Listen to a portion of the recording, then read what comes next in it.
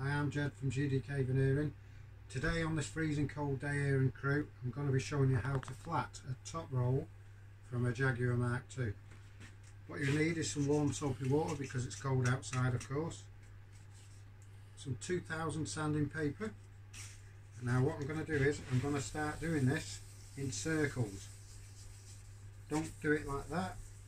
If you go around in little circles you can keep track of where you've got up to and I am applying a bit of pressure onto this.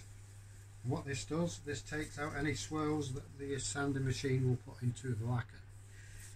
Okay?